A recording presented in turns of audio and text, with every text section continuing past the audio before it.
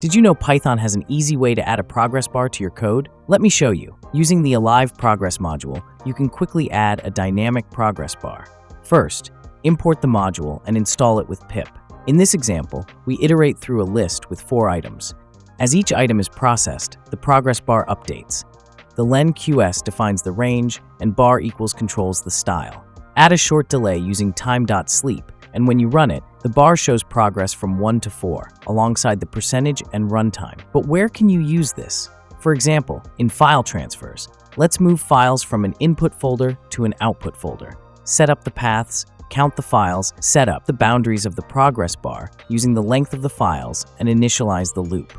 Then, we create the source and destination file paths and start moving the files. As we run the code, we see each file being moved while the progress bar updates accordingly. And that's it. At the end, check out the different bar styles available.